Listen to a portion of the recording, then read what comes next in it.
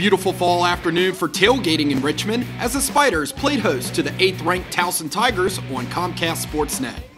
It would be a huge afternoon for Towson running back Terrance West, and it began on his second carry of the game as he makes a great juke move to the outside and has a lot of room to run, cuts back across the field, and is finally taken down inside the Richmond 20, but not before picking up 79 yards on the run.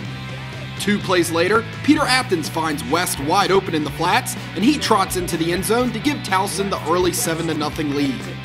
Richmond would respond later in the opening period as Michael Strauss hits his receiver Shane Savage in the flats, and Savage does the rest, running over two Towson defenders for the touchdown. The Tigers would block the extra point and lead by one. Next drive for Towson, knocking on the door again as West takes the handoff and scores his second touchdown of the game from two yards out.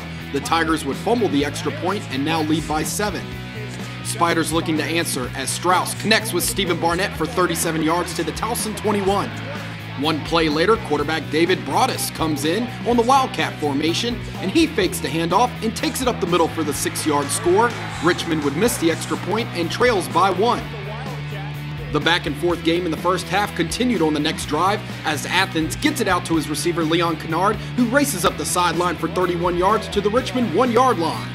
Next play, it's West, who finishes the drive with his second rushing touchdown of the first half, and the Tigers open up an eight point lead.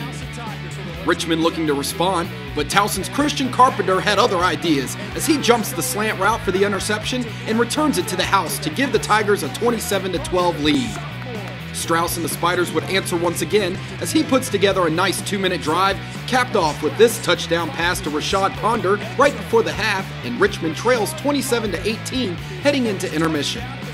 But it would be all Towson coming out of the locker room as Athens finds Brian Dowling between two Spider defenders for the 38 yard pickup inside the Richmond 10.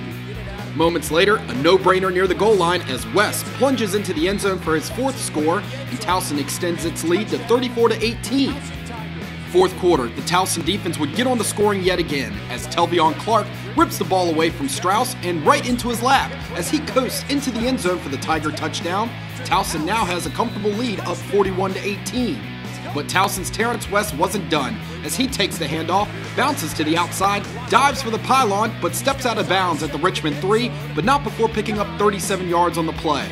West would cap off the drive and his afternoon, going untouched for his fifth touchdown and fourth on the ground as the FCS leading rusher would finish with a career high 272 yards rushing to lead the Tigers to a 48 32 win over Richmond to improve to 8 1 on the season.